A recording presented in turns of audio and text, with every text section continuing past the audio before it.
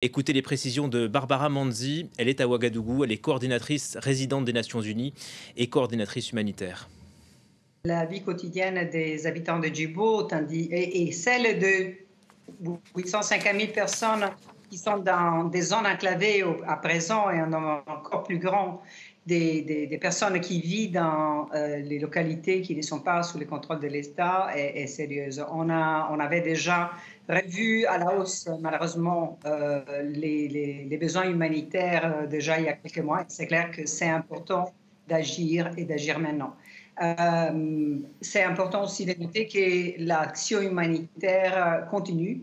On a, oui, en effet, il y a eu des, biens alimentaires qui ont été transportés par euh, les forces euh, et les autorités nationales, euh, mais c'est aussi les Nations Unies et les partenaires humanitaires qui n'ont jamais quitté les lieux, ni Djibo, ni autre site d'ailleurs, pour continuer les ravitaillements, pour continuer l'action humanitaire. Est-ce qu'on sait si ces vivres ont été distribués à la population?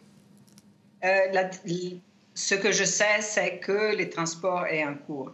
Et c'est important que les livres aillent aux plus vulnérables. Donc, euh, les euh, collègues euh, des autorités, de ce que s'appelle CONASUR, des autorités nationales sont en train de regarder et mettre le système en place pour la distribution, que je sache.